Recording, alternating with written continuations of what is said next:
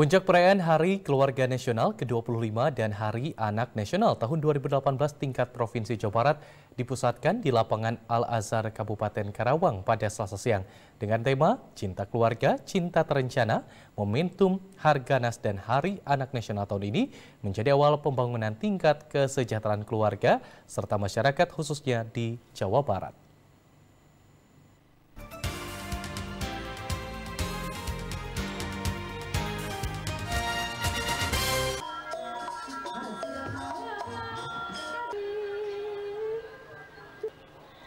Puncak perayaan Hari Keluarga Nasional ke-25 dan Hari Anak Nasional tahun 2018 tingkat Provinsi Jawa Barat dipusatkan di lapangan Al-Azhar Kabupaten Karawang selasa siang.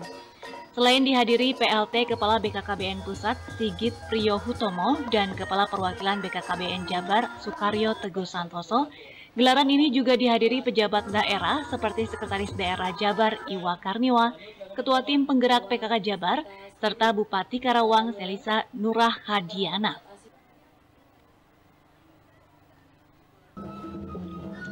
Gelaran ini diisi penampilan seni para remaja serta anak, serta pengenalan permainan anak-anak dahulu atau yang biasa dikenal dengan istilah kaulinan barudak. Sekretaris Daerah Provinsi Jawa Barat, Iwa Karniwa mengaku sangat terkejut dengan perayaan Harganas dan Hari Anak Nasional tahun 2018 ini. Hal tersebut karena dalam perayaan kali ini tidak hanya seluruh kader yang turut merayakan, tapi juga ada partisipasi aktif dari para remaja serta anak-anak. Dengan begitu, sosialisasi ketahanan keluarga dalam Harganas dan Hari Anak ini juga terserap para remaja serta anak. Ya, ya terus terang aja saya surprise ya.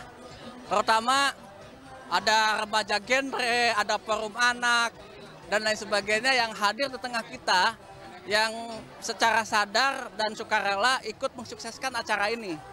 Dan bukan hanya mensukseskan, tapi juga ikut melakukan sosialisasi akan pentingnya ketahanan keluarga. Ini suatu moda yang luar biasa kalau menurut pendapat saya, sehingga eh, kehadiran di sini hampir 7.500 peserta, ini luar biasa, dahsyat, sehingga masalah ke depan yang harus kita bangun adalah masalahnya itu di komunikasi.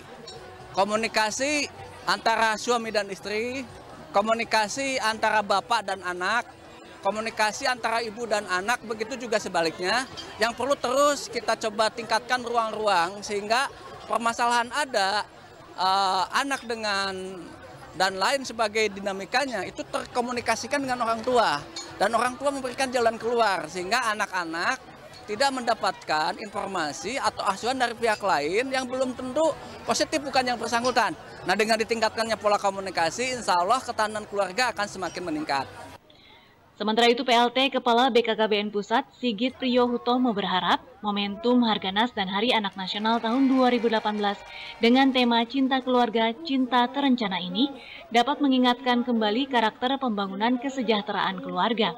BKKBN Pusat pun akan terus mensosialisasikan program-program kekeluargaan serta keluarga berencana dengan terus meningkatkan jumlah kampung KB di setiap daerah di tanah air.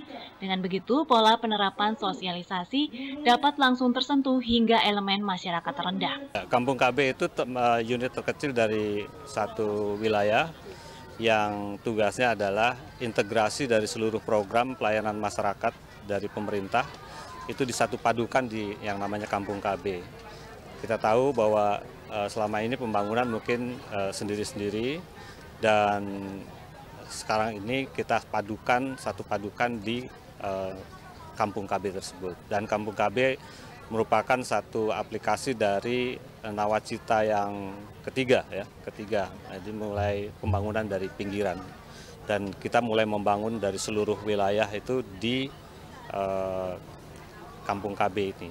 Kemudian Kampung KB sudah terbentuk di 2016 itu kita mandatkan satu kabupaten satu, kemudian uh, berikutnya tahun 2017 eh, itu setiap kecamatan satu dan uh, sekarang ini 50 de, 50 persen desa miskin kita harapkan sudah ada yang namanya kampung KB.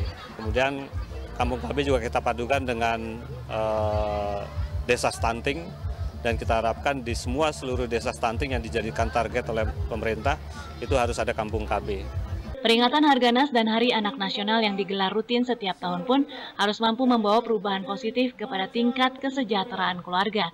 Selain program penekanan jumlah penduduk, kesejahteraan ekonomi keluarga pun menjadi salah satu tolak ukur suksesnya program-program kependudukan pemerintah. Yuwana Kurniawan, Bandung TV.